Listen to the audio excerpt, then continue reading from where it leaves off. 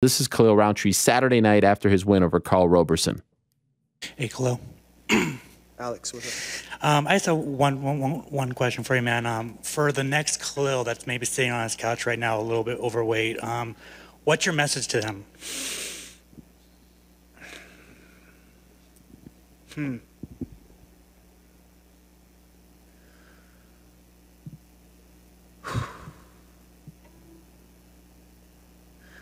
It might sound a bit cliche or we've heard this before, but like your life matters.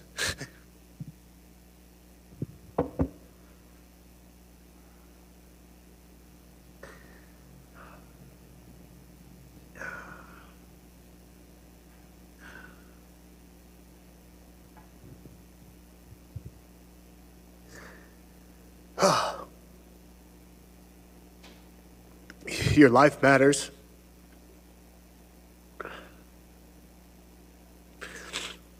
You can be special. You can be strong. You can be seen. You can be heard.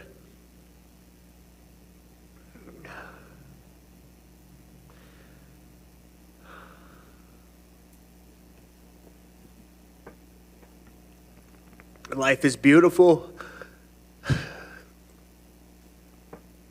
If you make it that way, doesn't have to be how everybody else makes it seem. Stick around. Stick around another day. I would have a lot of a lot of things like that to say, man. Thank you. Absolutely.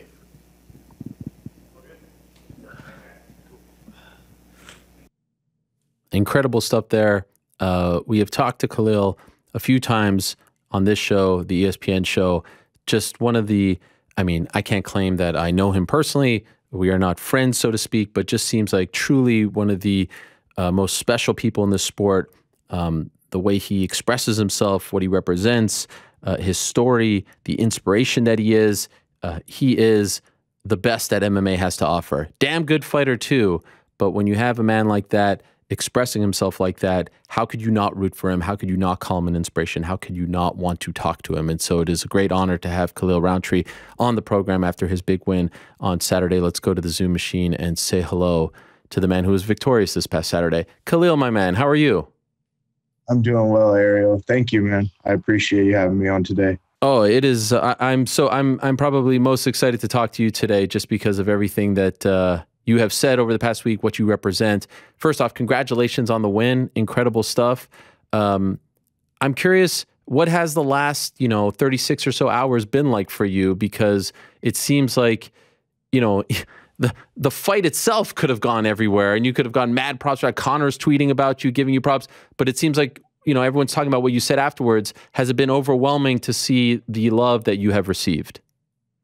Uh, overwhelming, yes. Um, in a really good way. I've I don't think I've ever received this much feedback um, post fight, and let alone like this much just positive feedback um, you know, just just endless messages still just flowing in of of people just expressing gratitude and just so so many things man it's like I, I i haven't really been able to sleep much just because i've been thinking about the like what what could possibly come from all of this and like the the type of change that can really be made um you know, on a on a very big scale. So yeah, it's it's been great though. It's it's, it's been really great. Did you? I was wondering. I actually asked a friend of mine um, if if I was blocked on your Instagram because I saw people uh, tagging you, and the Instagram wasn't there for me. Did you disable your Instagram? Because I was like, oh man, I hope I'm not blocked. But I, I kept seeing people tag you, and it was leading to nothing. Yeah. So I I think like currently I only allow tags from people who I follow. And also there was a point within my career, maybe like a year and a half ago or something like that, where I just blocked as many MMA media outlets as I could. Oh, okay. So I am blocked. Maybe maybe you are. Damn. um, and it's it was I think just to speak on that a little bit. Sure. Um, you know, just being you know yes I'm I'm a UFC fighter and an and an athlete, but just being tagged in MMA media that I just don't want to hear about or don't care about, or even just like using my phone and just going to my explore page and just seeing other fighters be talked about a certain way, or, you know, just, I just, I'm, I haven't been, you know, a, a big fan of MMA media for a really, really long time. And um, I just had gotten to this point emotionally where I just really didn't want to be associated with a lot of it um, just due to a lot of frustration. I didn't really know how to handle it, but to block it out. You know, most people say, "Oh, you got to block it out," but I Yeah. like physically blocked it, blocked it all out. So Consi- I'll definitely. No, no, please do, do whatever works for you. Considering that, I'm I'm actually super uh, happy that you came on the show because I, you know, wouldn't have been surprised had I known that that you'd have just told me to like take a hike. So thank you again for coming on. Uh, could I ask like what about all of that bothered you? Why did you want to block it out? Why did you feel like you needed to block that out? Um, I think it it has a good like a, a good amount to do with you know my post fight speech and just how I said like you know I just I've I'm I'm at a point now where I just feel like I I'm ready to open up about just who I am and what I've gone through for for the other for other people because you know maybe there's other people that you know that my story and stuff can inspire you know Mhm. um and um I I felt like anytime I would fight and win, then that's when people want to speak to me, and that's when people want to ask me questions. And still, the M- like you know MMA media would want to ask me questions, but still it was questions along the lines of like, oh, "Who do you want to fight next?" or Right. this, and I'm like, all of that stuff is cool, but like for me personally and how I even got into MMA, it's so far off from, you know, so far off from like my real mission, you know, and and a lot of the conversations are about like, oh, you know, who do you want to fight next? Or champion? Or do you see yourself at top 10 and who's the best striker? And this and that. And and to me a lot of that stuff really doesn't matter. It's not like in my brain on a day-to-day basis. So I think um, I think just with time and and life and maturity, I have finally come to a point where I realize like, hey, I, I have to take control over the things that I want to speak about and the things that I want to do, whether I'm winning or losing, whether I'm a champion or not. Um, I just want to take the opportunity to be able to, um, you know, expand my outreach as much as I can um, before it's all over. You know, before all the fighting stuff is over. I appreciate you saying that because uh, I was watching your pre-fight press conference on Wednesday, and I couldn't tell if you were annoyed at the questions or in a bad mood or something like that. But it definitely felt like you didn't. I don't know, like you didn't want to talk about that. You, you know what I'm saying? Is that an accurate portrayal? Like I felt like you. Uh, like you were taking like a i think i've uh, you know been doing this long enough to where i feel like i could read someone if they want to talk or don't want to talk and then you were like pausing and thinking and it felt like you wanted to say something else but you were just kind of what what is that pretty much why? Because it was the wrong questions being asked of you? In a way i i'm i'm doing my best to try to develop into the best you know ufc fighter and mma athlete i can be. And i know that one of those things right now is you know I, i've got to be able to promote a fight right? And and that's just something for me that in my entire life i had never been good at doing I didn't really get into my first like one-on-one fist fight until I stepped into a cage. Everything else was kind of, you know, like just kind of small, mediocre, like street brawls or stuff at, you know, hardcore shows or things like that. But um, I'd never really been a person that was out, you know, happy to fight. If I ever had to fight someone, it was always like, uh, I don't want to do this, you know. So I'm I'm getting better at embracing uh, the part that I, I realize that I have to promote fights moving forward. But the truth and honesty to who I am is I really don't like pre-fight interviews. I don't like to say, "Oh, this is what I see in this guy, and I'm gonna do this and that," and and really kind of like dish out my entire game plan and focus before the fight even happens because I also want to be able to maintain my integrity, right? So I don't want to go into a pre-fight interview talking about all of the things that I'm going to do and how confident I am and then go get smashed and then not get a chance to get a post-fight interview to talk about what I learned. you know what I mean? And and so like it's it's just really being able to um, yes, I was uncomfortable. And a lot of the times for pre fight interviews, I am uncomfortable because I don't want to talk about the fight. It's already going to happen. And I just want to do what I plan to do and, um, and just keep moving forward. Post fight interviews are great. I'm willing to share everything that I learned or that I went through or that I prepared for. Um, but yeah, just the, the pre fight interviews to me, they just, they, they kind of bug me more than they, than they hype me up. If someone were to ask you, who is Khalil Rountree Jr., what's your response? Hmm. Khalil Rountree Jr. Wow. um, I'd say uh, I'm a free, honest, authentic leader. that's you know at the end of the day those are the three things that i that i stay true to is just maintaining my freedom freedom of expression freedom of individuality uh, freedom of thought uh, approach in life. Uh, i do everything that i can to be as honest as i can with you know with my words with my actions. And i really try to remain authentic as much as I can too, and and really not change up who I am, where I come from, um, the things that I'm interested in, uh, how I dress, what music I listen to. So, and leader as far as just wanting to really help, you know, help people.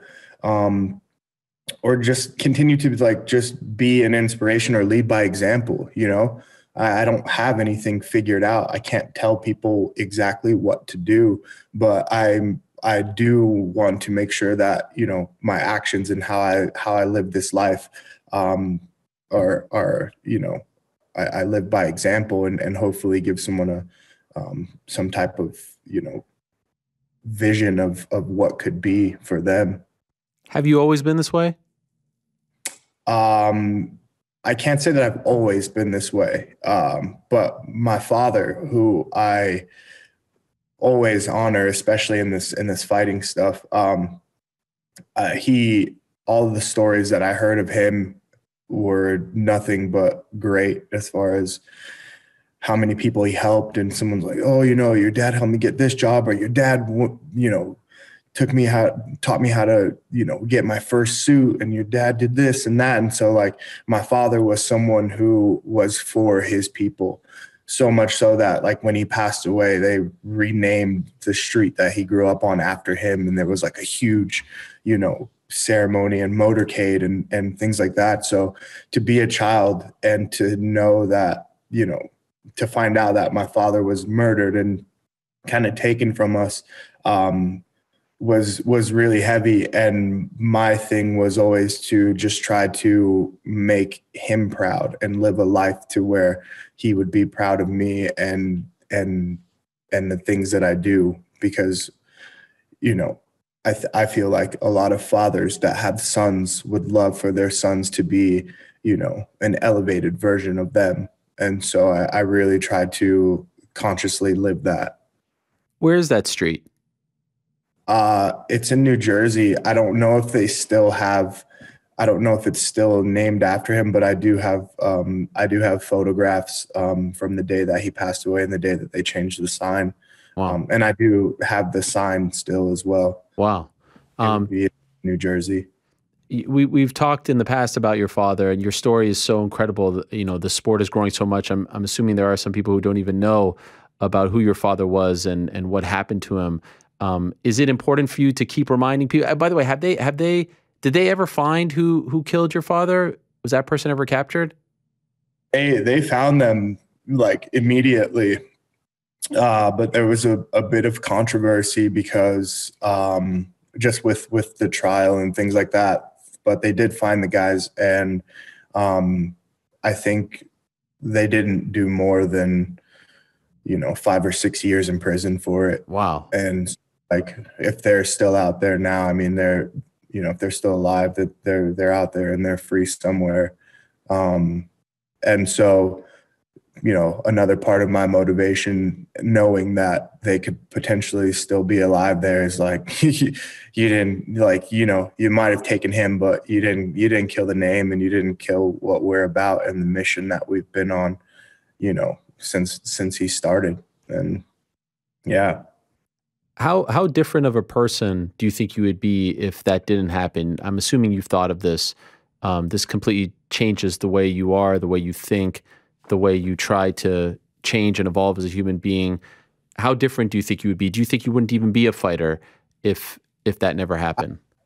I highly doubt that I would have been a fighter. Um, my thing growing up, when I would wake up, we had uh, we had like platinum and gold records in the uh, in the house that were given and dedicated to my dad before he even passed. So, like Boyz II Men, you know, Motown Philly, triple platinum, you know, things, and it had my dad's name on it, and you know, I would walk down the hallways and look at it, and and always think, you know, I'm going to be in the music industry. That's how I'm going to, you know, follow in my dad's footsteps. And so, uh, when I was probably eight years old, seven years old, is when I started asking my mom for instruments. And every Christmas, I would say, like, I want a drum set. This Christmas, I just want a guitar. This Christmas, I just want a keyboard. And I would teach myself, I would lock myself in my room and teach myself how to play, you know, my favorite songs. And so my dream was always to be a musician. And so I think if my father were still around, um, that that probably would have been more of my uh, more of the route that I would have taken, like music producer or A and R or something that has to do with uh, working with with the entertainment business. Because still to this day, um, I'm completely I love it. I love the entertainment industry. I love the music industry. Um, yeah, so it probably would have been something around there, which is something that I'm still I would still love to do. You know, on while while I fight or post fighting. Um, yeah. Is is your mother alive and well? Yeah, my mother is alive. Um, um, she's she's well, but I'm I feel like you know I'm 32 now. My mom I think is 60, um, and I'm just I'm at that point in life right now where you know um, like father time starting to kick in, right? So my mother's health is is it's not the best right now, and that was a, a big motivation uh, for this fight too. Is just I have to see my mother in constant pain every day and um, I still I still support my mother because she supported my entire family by herself um, for this long, working multiple jobs to to raise four children and uh, and just keep us alive. So now is is my time where um, I feel like it's just time to take the reins and, and kind of help her out so that she can live out the rest of her life happily. So um, my mother is alive and she is she is well, but her health is not the best right now. And so that's a big part of my focus right now too is how can I uh, you know help restore my mother's health so that I can keep her around for as long as possible. Just curious, have you heard from her since your fight? And if so, how does she react? You know, I think uh, parents, uh, I could say we, I'm a, I'm a parent as well. Like you, you never want to see your kid emotional. You never want to see them hurting, crying, even though you may not be hurting, but like, you know, the, you, you are not afraid to share your emotions. Um, does she comment on that? And if so, what does she say? Uh, I had a talk with my mom uh, a couple, like a few days ago. And prior to this fight, my mom did not like to watch me fight. She would never watch live. She'd been to one fight, um, the Ultimate Fighter finale, when when I fought Andrew Sanchez, and she was there. And that's when I don't know if you've seen the clip, but I was like screaming at her, like "Mom, shut up!" because she was she was hysterically crying and like, "Oh, please get up, no," you know. And I could see her because she was, for some some reason, she was front row, like right by where the the inspectors like grease us down.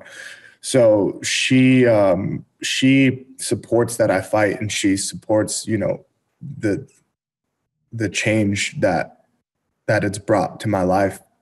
But she was never someone who would watch it live. But I talked to her a few a few days before the fight, and she had said to me with full confidence, she's like, "I have I'm so confident in you for this one. I've never seen you be so focused and I've never seen you lock in so much. And she's like, for the first time in my life, like I'm going to watch your fight live and I'll be right there supporting. And it brought me to tears because like, that's just, that's just huge for someone like my mom. So, um, yeah, I, I have a fantastic relationship with her. She's the strongest, most compassionate woman I know. And, she's you know she'll be on her way over here shortly to to hang out and just kind of give me her thoughts and we'll we'll talk a little bit more about everything that's happening. But um like i i said on instagram you know this this fight and was was definitely dedicated to the both of my parents for just everything that they did and the foundation that they set to to make me who I am. And I feel I felt like it was time for me to embrace everything that they've seen in me and that I maybe didn't see in myself. And it was just time to just embrace it and trust it and and put it all to work. And that was the result that we had gotten. You have mentioned, and you mentioned uh, in in the post fight press conference as well. Not that long ago, you were 300 pounds. Uh, you were smoking. You were not eating well. Obviously, you were addicted to all kinds of vices. How long ago was that? Uh, so that was 12 years ago. So at the I'd say at the height of my just depression and like downward spiral, I was 19. That was like I was out of high school. Um, I knew that I wasn't going to go go to college because I just my whole life I never really I had friends and I had really good friends, but it wasn't like school wasn't ever really like a thing where I went and felt like, oh, this is, you know, my everyone's here. It's gonna be good. You know, most of my friends we didn't really like school. We skateboarded and like you know listened to punk rock and you know used to ask people outside the store to like buy cigarettes for us and you know like that type of stuff. Um, but uh, about 19 is when just everything kind of hit me. People were going to college some people were getting jobs and you know i was living in a one bedroom apartment with my mom my brother my niece my sister uh, struggling to make $750 rent meet every month. And i had no idea of what i wanted to be in life or what i wanted to do or what i could even do because at the time 19 years old 305 pounds two packs of cigarettes a day soda only, you know, you, know, if someone had pills, I'm like, oh yeah, I'll take some, not even knowing what they are, you know, just just really just lost and with no hope or no no, you know, I never didn't even care. I like I don't care if I wake up today. I don't, you know, I'm gonna drink myself and hope that I don't wake up tomorrow. You know, like like those type of thoughts until um you know, I my brother was watching MMA. I saw a little bit about what that was, and kind of a, a, attached to this this aggression and, and kind of anger that it seemed like these guys had, especially after seeing Rampage rip down a door on the Ultimate Fighter. I'm like, yeah, that's what I want to do. You know, I was like, yeah, I want to do that. You mean if I do train MMA, I can just break a door down with my bare hands? Absolutely. So um, it was just it was a mixture of like you know, being exposed to MMA and then just feeling like I just wanted to just like explode or give up. And yeah, that was that was at 19, and that's when that's when I just decided I'm I'm gonna start. One of the things that you said in that clip that I think resonated with a lot of people is, you know, you matter, you know, keep living, it will get better. All that. Did you not feel like you mattered? Did you not feel like it was going to get better? No, I I think a, a big portion of that was um, when when I was I was born in Los Angeles and uh, when I was five, we moved to Las Vegas, and my mom used everything that she could to move us to, you know, kind of the best neighborhood, you know, with with with better schools, and it was kind of a sub- suburb area. And um, I was new, and in school, I I was always a, like I said, a music guy. Um, I remember one of the days of school, like I wore an NSYNC t-shirt and like no guys ever wore NSYNC, NSYNC t-shirts, you know, no black kids either. So um, I remember like I had gotten made fun of for it pretty heavily. Even like just walking home from school, I remember just like a crowd of kids just kind of like following me, kind of laughing at me. And then uh, that's kind of like when a lot of my like self-loathing kind of started to kick in, you know, and um, just a, a mixture of who I always wanted to be in life. You know, this kind, kind of like happy guy, smiley, just want to be friends with everybody. Uh, I never like, I, I didn't really feel like that was accepted. And I felt like I was always supposed to be this like, because I was bigger, this like bully or, you know, just this guy who I really wasn't. I was always expected to be something different or an athlete. So uh, I just I just kind of lived my life feeling overlooked or like people really never saw me for who I am or who I wanted to be, and it was always like these labels that were kind of placed on me, and um, yeah, I think it, I think that was just a, a lot of it is just really feeling unseen even though I had people who loved me and people who championed me, uh, there was always that portion of of me inside that just felt like unseen. Like, it didn't really matter because no one really cared to know who I am internally, or nobody really cared about the the soft and sweet things that that I cared about at the time. You know? Yeah. Um, and so, like the the process, you know, like we talk about it, but people don't realize just how tough, you know, being 300 pounds and not being an athlete at the time. I would imagine that first step just to go to the gym and you're self-conscious, right? You you probably are thinking like, God, you know, people are going to look at me, laugh at me, judge me. That first step it might be the most difficult step of them all, I would imagine. Do you recall that first day in the gym, those first couple times in the gym, and how you felt sort of, you know, I would imagine out of shape, you, you don't have good cardio, things like that. How difficult was that? And how did you keep going? Like feeling down, what made, because I could imagine a lot of people do it once, twice, and then quit because they don't think they're good enough to keep going. How did you keep going? Um, yeah, I remember. I remember walking in. So we we did a, a quick search to see what gyms were in town, and um, we saw that Vanderlei Silva's gym was here, and that was like right when he had built it. And so um, my brother and I we looked up Vanderlei Silva online, and we saw his videos, and I'm like, this guy is sick, you yeah. know, like you know, this guy is crazy. Yeah, let's go to his gym. If he's going to teach us like how to fight like that, let's go. And so um, when uh, when we walked in, I just remember feeling this immediate like intimidation because there's photos of him. He's like rah, yeah. screaming, pictures of him like covered in blood and axe. Uh, you know, shout out to Eric Williams for those photos. Now that I know who took them. Um, so yeah, I remember being very, very uh, intimidated. And then the first class was a, a, Muay Thai class that was led by um, an instructor named Michael Costa, and he is the one of the hardest trainers that I've ever known in my life. But the cool thing about it is that he definitely taught from the heart, and he cared about every single last one of his students. And so. I went and I made sure that I just gave my best efforts and listened to what he was saying because I knew that I wanted to learn how to fight like Vanderlei Silva. And uh, I remember after the class, I was just completely gassed out. And he came up to me and he's like, Hey, have you done this before? And I said, No, never. This is my first time.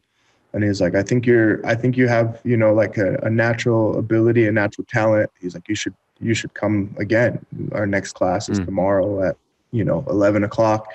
Um, come back. I want to see you in my class. And that was the first time that I felt like I had had this like open door acceptance like from from a kind person who actually wanted to to teach me how to fight and I think what kept what kept me going there was just you know, this guy really wanted to teach me how to fight and really to to make me help me be a better person. And I remember that was the day that I got home and I threw out my packs of cigarettes and you know, just I was like, if I, I can't smoke if I'm going to be doing this because it's just it's so much on my lungs and I can't breathe and um, that was that was just the start of it and then everything else I just started to add a little bit more every every day. To the best of your knowledge, um, recollection, how long does it take for the weight to come off, the confidence to grow, the feeling of acceptance to become really real? Like, what's that process? How long does that take? Months, years? For me personally, I lost 100 pounds in 11 months. Wow.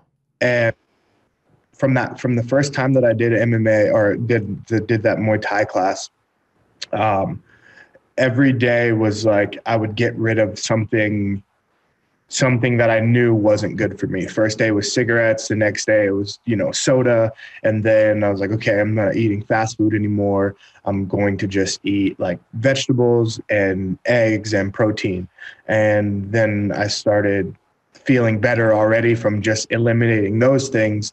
Then I'm like, okay, I'm I'm going to start jogging a little bit and then I start jogging. So I think the confidence started to come after about like like three months, I could say. You know, like three months of of just going to training and just telling myself that, you know, today is the day, like, or today I'm not gonna smoke. That that was the thing. Those vices were all obviously wanting to like creep back in, but I had to take it day by day and just say, you know what, today I'm not gonna do it. And I wake up the next day, today I'm not gonna do it.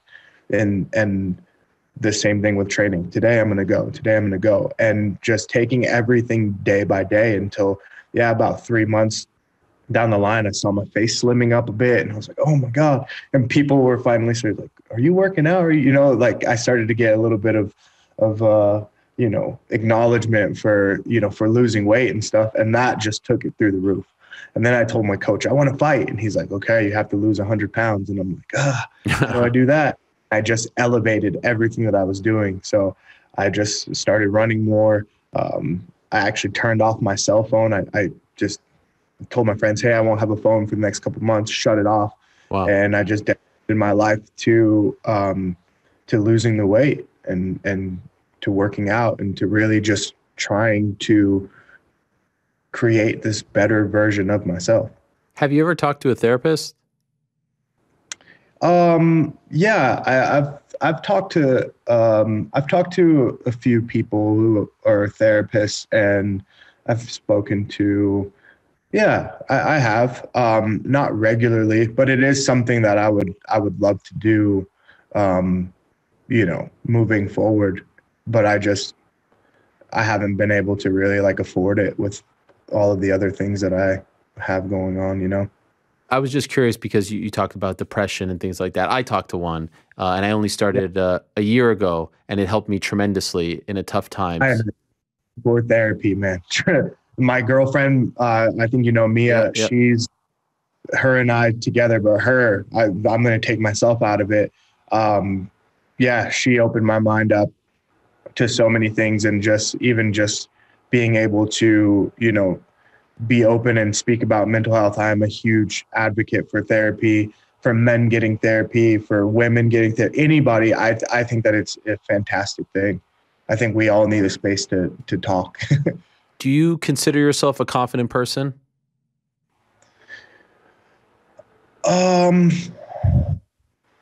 you know, I can say yes, right? Like I can say yes. There are times that I do feel confident, but I think that I'm more of the guy who is working on building confidence rather than confidence being right at the forefront. I'm more of the guy who I'm a bit more like reserved and hesitant, and it takes a little bit of encouragement for me to actually step into my confidence. One thing you said uh, on Saturday, another thing that you said was uh, that you want to inspire change. Uh, you want to be heard, you want to be seen, you want to inspire change. How do you want to inspire change, and, and what do you want to change? So, for the past, you know, I also mentioned something about like my story, right? Yeah, yeah. And my story, my personal story, yes, I would love to continue to share. But for the past couple of years, I've been writing a story. Um, L- like literally writing it? Yeah. Okay. But it's it's it it has a lot to do with my own personal story. But Ariel, you you have children, Yes, three. boy, boys, Uh, girls. two boys and a girl. uh your boys do they like uh who would you say are like their three favorite superheroes Oh my. Uh, you know, like the classics. Uh, they like uh, Iron Man, Spider Man, um, and there's a bunch of uh, like new dudes now that I don't like. They watch Avatar. I don't know anything about this stuff. Now everyone's gonna make fun of me, but you know, stuff like that. it's okay I, asked you that because when i was a young boy i had no superhero that i could look up to and say hey that guy looks like me Mm. i want to be halloween or i want to you know Yeah. I want to, you know, I didn't have that. And so I knew that I never wanted to be an athlete really growing up. Like I never, I didn't think like, oh, I want to be a football player. I want to be a basketball player because everybody that looked like me that were kind of considered superheroes like Michael Jordan and Shaquille O'Neal, they played basketball, didn't want to play that. Um, and so the story that I've been working on is, is a, a, a character version of myself but like it's not really me but it's something that resembles me but with with like a similar story. So things that i've been through i've characterized them thoughts and and personal let's say like demons for lack of better words um i've characterized them into like villains where this character fights these things and it's a very like internal so it's more of like a comic graphic novel type of story to where there's room for my imagination to also go into it and and and um and kind of tell the stories from how I see them because I'm a very like internal more visual guy. So yeah I've been working on more of like a graph graphic novel type of story that I think will inspire change in a lot of people and a lot of men that look like me and a lot of children that look like me who kind of need something like that. And i think that with you know with the right people that have a similar mindset and a similar you know that connect to it i think that something like this could could be a huge change a huge change Have you shown it to people yet, or you're not quite there yet? i've written i've i've put together a pitch deck and um i with the help of you know my my management my agency um we've pitched it but i think when i pitched it it was a bit premature and so now i'm at a point right now where i know that i'm no writer. Um the writing is not bad and the you know the the the pitch deck and stuff is not bad but i do know that like with people who would love to be a part of a project like this it could be huge. It could be huge man because I, it's something that I'm like I'm definitely passionate about, and um, I would love to be able to, yeah, like I said, tell my story in a more dramatic, uh, visual type of way that that multiple people can can connect to, and um, yeah, I would. We'll have to connect, you know, personally to so I can give you more details, but um, yeah, I, I definitely want to be able to to make a change in, in, in that type of way as well. Uh, in the post-fight interview with Paul Felder, you were emotional. Um, in the post-fight press conference, you were emotional. I like this. I'm an emotional guy. People make fun of me that I've cried on the air and whatnot. I don't mind. I've always been that kind of guy. Uh, so this draws me to people like you. Are you always like that, or is it the fight that brings these, these emotions out in you, and then it kind of subsides a few days later? I think I'm I'm I've always been like an empathetic type of guy, right? Like I I'm always aware of other people's feelings and the people around me and I pick up the like the energy of the room, right? And uh I think it's more of just the fight that brings out that like that burst of, you know, like just tears, just thinking about everything that I had gone through in camp and just, you know, doubts and struggles and having to wake up and do this. And I think it was just it all just built up to where I just I don't mind letting it out either. If it if that's what wants to come out, that's what comes out. I'm not gonna I'm not gonna hold it back just because someone else's opinion. Hmm. Um, so yeah, I, I'd say I'm pretty emotional. I'm a sensitive guy, Um, and uh, you know, but yeah, I don't think it's not that I like cry a lot, but if it if it means a lot, then yeah, the like you know tears and stuff will will definitely come out, and I'm not afraid of that. How do how do you just curious, and I'll just a couple more questions, and I'll let you go. Thank you for the time. How do you get over like the ups and downs? How do you get over the downs, um, the the the the bad days? What do you do to get over those days? To get you to go get out of bed, go train, go fight. What is your method to getting over those bad days? Well, the first thing is vision, right? I I I I do my best to keep the vision alive, and I try to think and see why am I doing all of this? What is it for? You know what I mean? So the vision ahead. What does the life that I dream of look like? And what type of person is that? And how do I look? And what's am I smiling? You know, so it's it's vision. But I think recently, one of the things that helps me the most, and it's something that my coach, um, my coach Lorenzo tells me, and it, it, it helps me and strengthens me. He says, stop feeling sorry for yourself. And I think that that's something that some people could take the wrong way, but for me, it actually helps.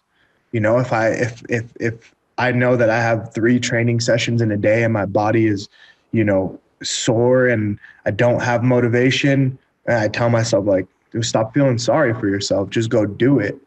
Then, then you know, if I attack the day, no matter how I'm feeling, without feeling sorry for myself or giving myself excuses, then at the end of the day, I feel so much better because I still went, I, you know, like I defeated all of those things, like all the odds that were stacked against me, you know, in a way, like sore body, you know, this person called me, they're sick, you know, this bill, that, and da da da. da. And I still went and got all of my stuff done at 100% effort. When I go to bed at night, I'm like, hell yeah. Mm. And then the next day, maybe I feel better. Maybe the motivation is there. But on the on the hard days, on the down days, I tell myself, stop feeling sorry for yourself. Work work hard. work hard. You know keep going. Work hard. That's it. Every day. Just work hard. Every day. Work hard. Uh, you're on a roll now. You've looked fantastic in your last two fights. I did read recently though that when you were living in thailand and correct me if i misinterpreted this like you were starting to lose that passion for being a fighter like you were almost too comfortable there it was too i mean it's paradise there but you were you were losing that why were you losing it and if you didn't leave Thailand, do you think that this version of you doesn't come out in the cage? Do you never get it back? Uh, so I don't want to say that I was too comfortable. I was very comfortable there.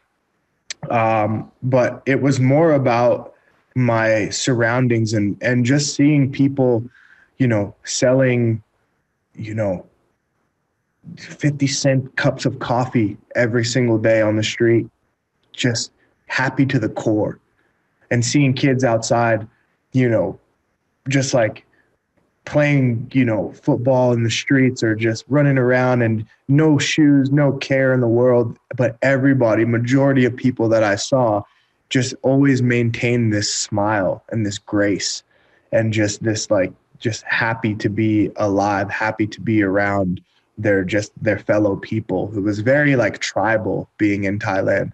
And so I started to, you know, question myself in a way of like, why am I striving for so many like just extreme things? Why do I want a big house and fifty million dollars and and you know and and all of these things when I could literally just have happiness with people that I love around me, especially in Thailand. I thought I was going to live there for the rest of my life. And I loved it. I loved everything about the culture and the people. So I had just gotten to a point where I was like, you know, with what I have now, I could do something smaller. Even if I just worked in a coffee shop or I did this or I drove a tuk tuk and just drove people from, you know, place to place, I could still be so happy. Like I don't need a, a bunch of things to, you know, to get this happiness that I think that I'm working for. So it was more along the end. I was like, you know, if I don't fight in the if I don't fight in the UFC, then that also frees me up to be able to to fight Muay Thai. And that's that was like my dream. It's like I I had the opportunity to fight in Raja Damnern Stadium for you know you know if if I wanted to, I had the connections, you know. And I thought like, man, you know, owning a green WBC Muay Thai belt would be amazing. And there were still dreams of like, yeah, I still want to fight, but I want to fight Muay Thai, but I can't fight Muay Thai if I'm in the UFC. And Muay Thai, if I fought Muay Thai, that'd make me happy. You know, there's just a lot of just conflicting conflicting thoughts and and things until you know having so much downtime during COVID. Um, I just I had come to the realization that you like you know I'm like I'm not done. I still have I still have a lot to give. It doesn't have to be about getting all of these big things in life.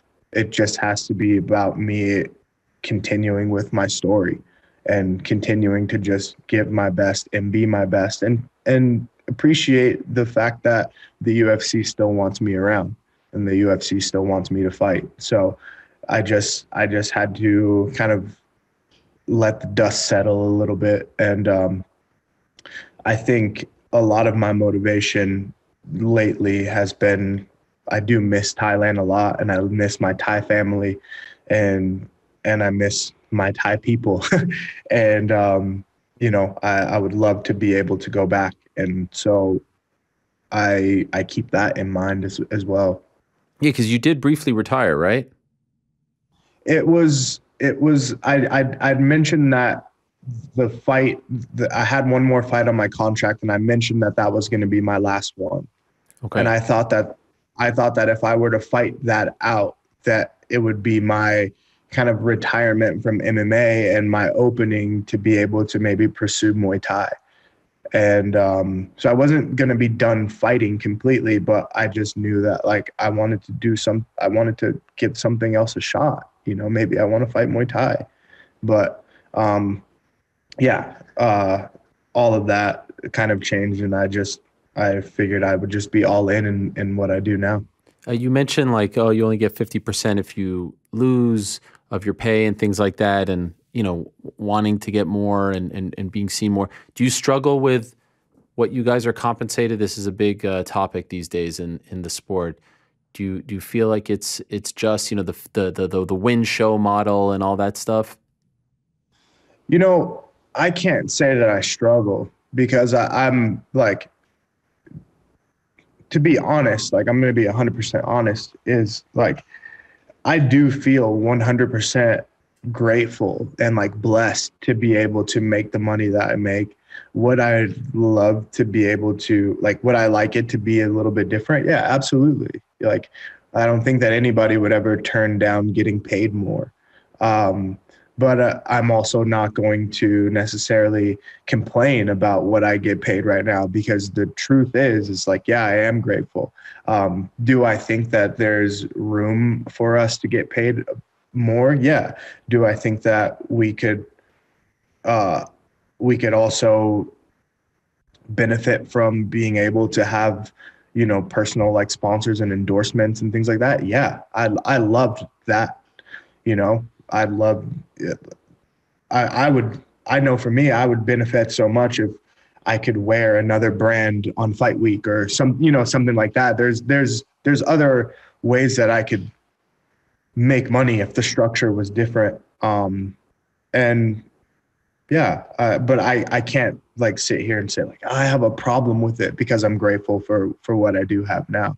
Um, but I do understand the the stance that that a lot of people are taking and the the opinions and and and words that other people have. I, I do understand it fully, but yeah, I'm not the guy that's like picketing like we need more yeah. money.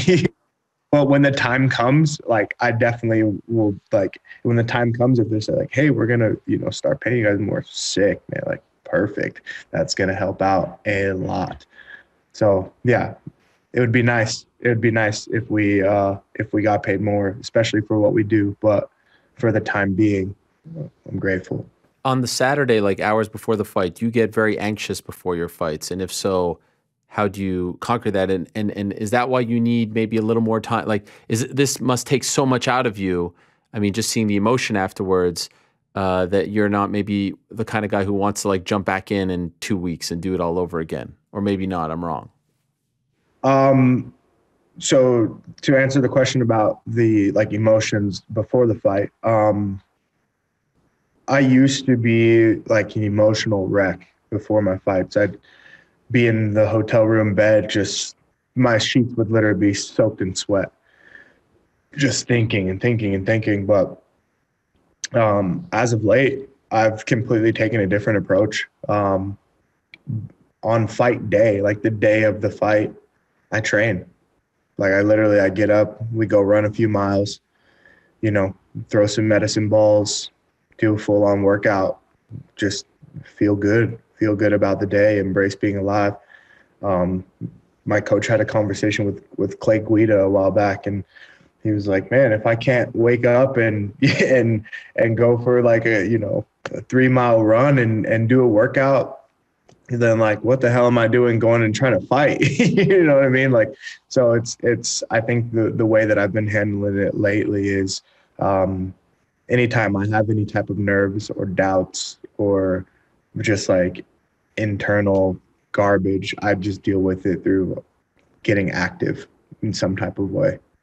I think activity has been the cure to a lot of my mental mm. uh, mental garbage. Yeah. So when would you? Uh, how soon would you like to come back? Uh, I'd like to come back around like August. Okay. My goal was to fight. My goal was to fight three times this year. Is is what I had in my mind, and um, I think I do enjoy time in between fights because I like to reflect. I like to go back and kind of you know read some of like my journal entries and things like that and really make sure that i give myself enough time to really grow and develop and not and not like burn myself out or you know i'm not like eager to go in there and do it again so that i you know i'm not in a rush to get to the top it's kind of more of I, w- I want to embrace the journey i want to grow i want to bring something different in the next fight when you know when when people whoever it is that I fight next, when people watch again, I want it to be a completely different me. You know. Did Did you see uh, Conor's props, and does that mean anything to you? Are you? Uh... It means the world. Okay. It means the world. Um, Conor McGregor is one of my favorite fighters, absolutely. And so to see that, uh, to see that last night, that it put a smile on my face from ear to ear, man. you know, like that was that was so cool. Like Conor McGregor like pretty much like giving me props and saying that I did something that wasn't like yeah boring. That's that's cool. To even know that he was watching. I mean, I know most UFC fighters watch fights, but to even see that to know that he was tuned into the fight, yeah, I think that's that's cool. Yeah, I'm geeked.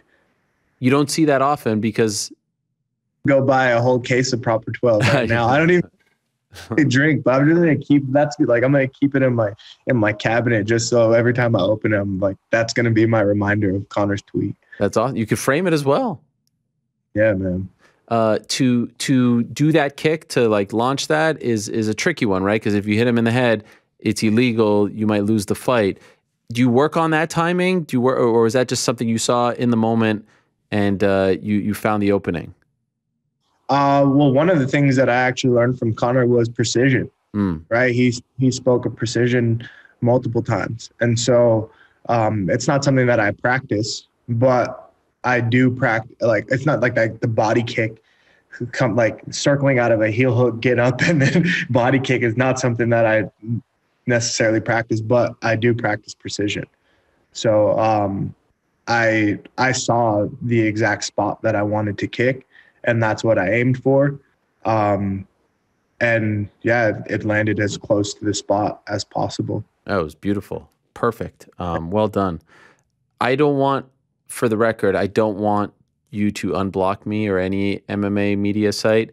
Uh, I just want to say I am sorry if we were the source of any angst or frustration. I I hate to hear that. I don't want to be that. I can understand why you would want to block it out. So I'm not offended at all. But uh, I am trying to be better. I think we're all trying to be better. We could get better as a media corps uh, and focus on the right things and and represent things the right way and cover things the right way. So um, that's not me trying to be unblocked or get in your good graces. I just want to say I'm sorry for being that, for for being that symbol to you because that bums me out and that lets me know that like we all need to be better and start focusing on the right things. So uh, I appreciate you being honest and I appreciate you even coming on the show despite that because I saw all these people tagging you. I was like, is, I, is something up here? I'm not sure, but um, I respect you very much for what you stand for, what you represent, and the inspiration that you are, and your desire to not just get better yourself, but to make other people better. Because it could be one thing if you just want to be better yourself, that's commendable. But to have this passion to make other people better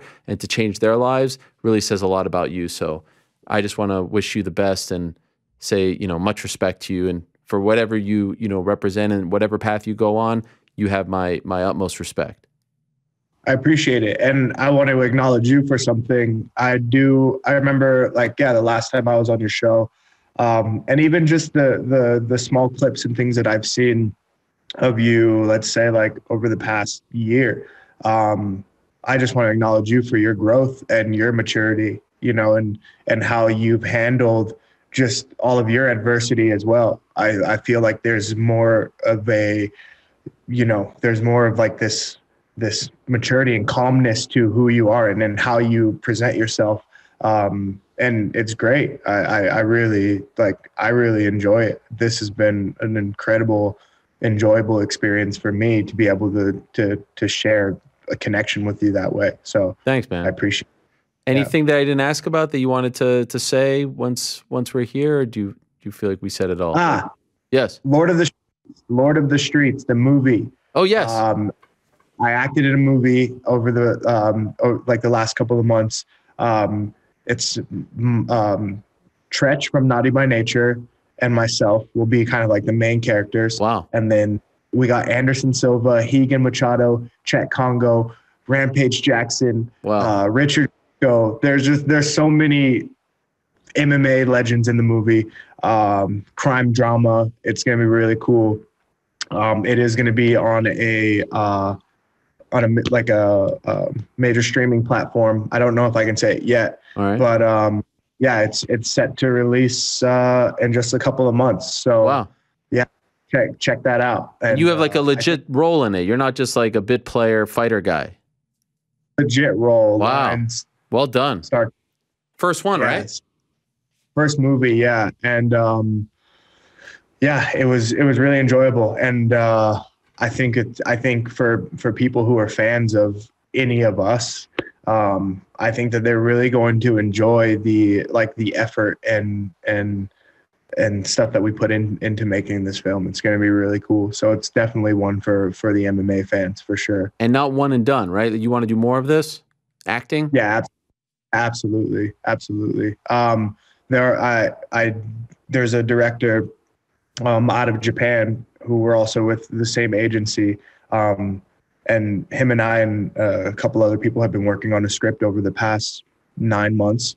Um, script is pretty much finished. Uh, we've had one pitch, and uh, it's great. And that one I'll actually be play. I, I'm casted for the main role. Wow. Um, and it, it's it's a great one. This is like a life life changing type of story. I think it's going to be really good. So we're just waiting around for that one to get picked up, and once that one goes, man, I know that one's gonna that one's gonna change the game.